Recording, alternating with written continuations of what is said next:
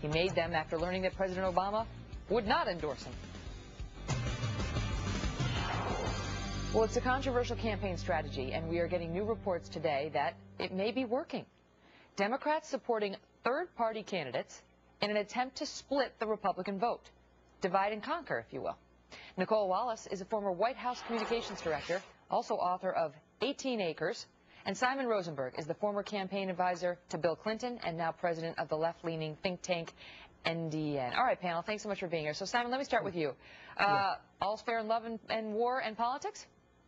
I think so. I mean, I, I don't think we'd be having this story on the air right now if the Republicans weren't actually worried that the election wasn't as strong and as good as they had hoped to be. I mean, this sounds like they're nervous about winning these House races. They're complaining about some controversial tactics. That's a sign of weakness, not a sign of strength, I think, Megyn.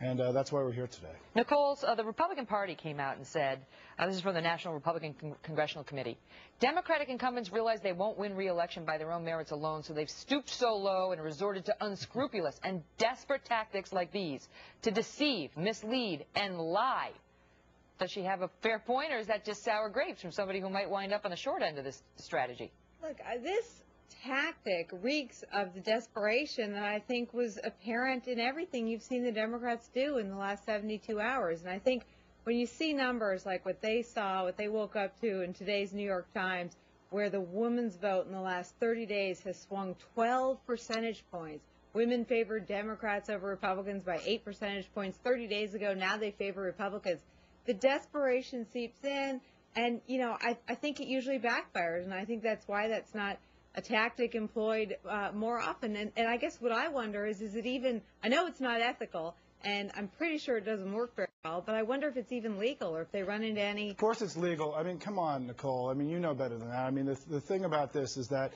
This is this is all fair in love and war. This is clearly legal. I mean, this is you know the Republicans were the party that wanted to loosen the rules in American politics. And we've got now much more in play than we used to have. And it's incredible to me after they moved $25,000 contributions from the RNC to these multi-million dollar contributions that are playing out all over the country for them to be bitching and moaning about this clearly legal within bounds tactic. I mean, the, the thing is, in elections, it's about who gets the most votes.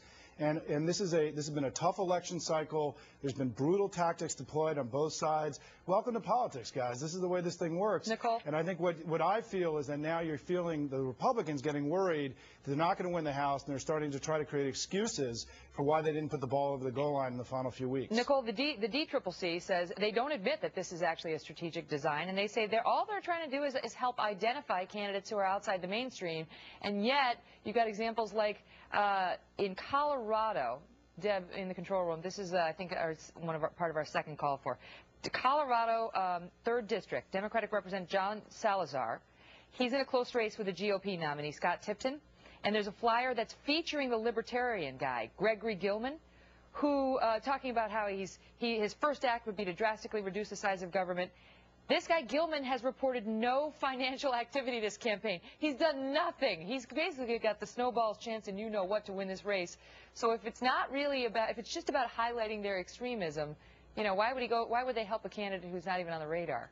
Look, I, I think this is, this is cynical. I, I really think that um, whatever Simon is smoking that he thinks Republicans are bitching and moaning, Republicans are hopeful, they're optimistic, and they're confident in the outcome on Tuesday because Obama's agenda has been so poorly received by the vast majority of Americans, not extremists, but by independent voters, by mainstream Republicans. And the fact that you've got independent voters agreeing with Republicans and agreeing with the Tea Party is the largest, I think, almost the mainstreaming of the right that we've seen in a very long time. And when you hear Michael Reagan speak like he did to you just a few minutes ago about how this movement is at its core Ronald Reagan's vision for the role of the federal government in American life, I think tactics like this at the end of the day will either backfire or, or when held up against everything else that's going to happen next Tuesday, will be just a drop in the bucket compared to the overwhelming victories that Republicans and Republican Tea Party candidates are going to see Tuesday. Simon, what, what speak to that point of that, that, that the Republican uh, Congressional Committee spokesperson says about,